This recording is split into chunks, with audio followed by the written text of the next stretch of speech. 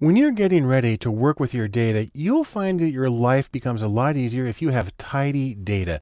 Now, this kind of a funny term, but it actually refers to something specific within the data science world. I want you to know that if you go to Google and type in tidy data, two of the first three are going to take you directly to the journal article in the Journal of Statistical Software by Hadley Wickham that originally explained the idea of tidy data and you can also take you to a page on uh, the R project site that gives a lot more information about what is meant by tidy data.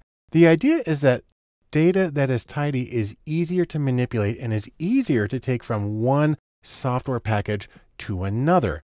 Now, this is where spreadsheets are a little problematic because spreadsheets are amazingly flexible and they allow you to do a lot of things that might suit your purposes when you're creating the spreadsheet, but they make exporting or sharing with others kind of a headache.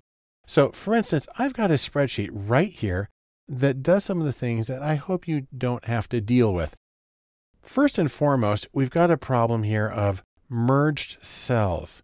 This is when you take a single cell and you spread it all the way across these other ones, sort of as a header. There's a merged cell, there's a merged cell. This one is 15 cells merged together and it's smack in the middle of everything.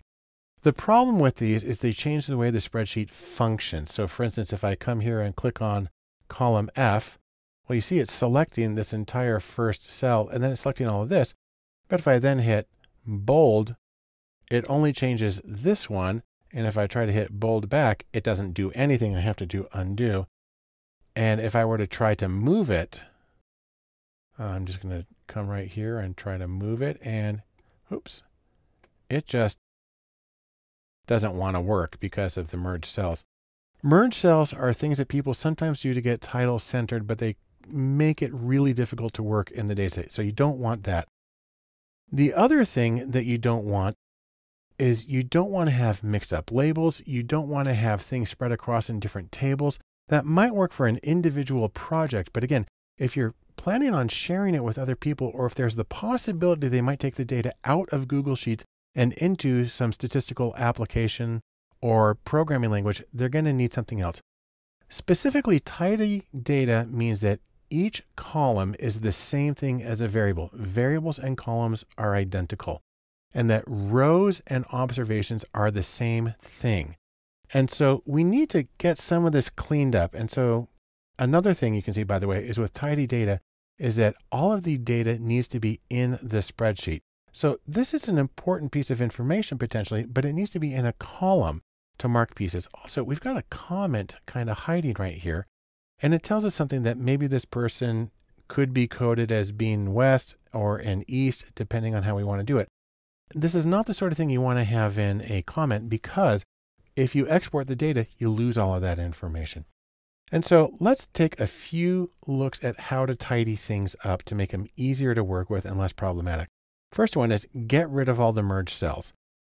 Get rid of those titles we had across the top. And then the information that said the first 10 were uh, surveyed in person, make a new column and put that in there.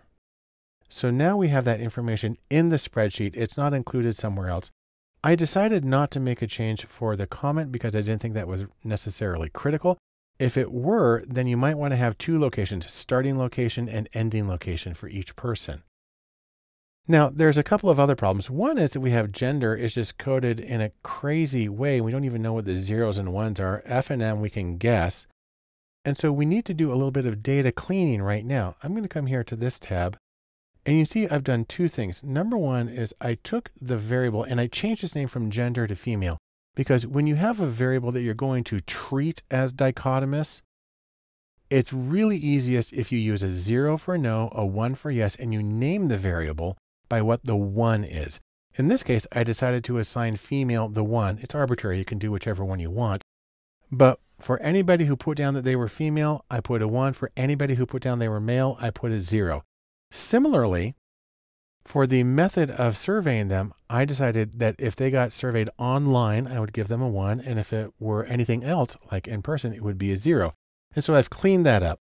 But there's one more step that we need to do, and it has to do with this one right here.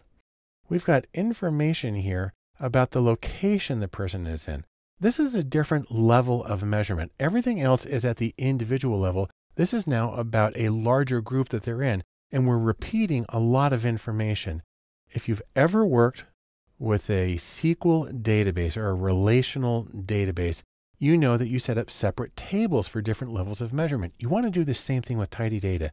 So you keep information about the individual, but then if you have this information at a different level that's repeated, you put that into a separate table. it's just a tiny little table.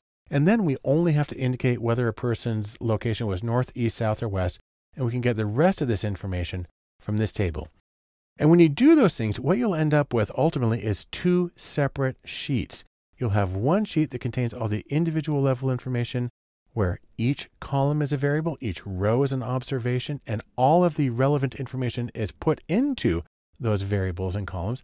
And you'll have a second sheet that contains the variables for the other level of measurement. Now, again, this is mostly important if you're going to be exporting your data so it can be analyzed in another program. If you're working entirely within Google Sheets and it's never going somewhere else, you might be okay doing whatever you want. Just be aware that the flexibility that you get with spreadsheets gives you a lot of room for creativity, but it can potentially create some headaches. And so, when in doubt, take the tidy data approach. Keep your data clean and make it easy to work with, easy to analyze, and easy to get meaning out of.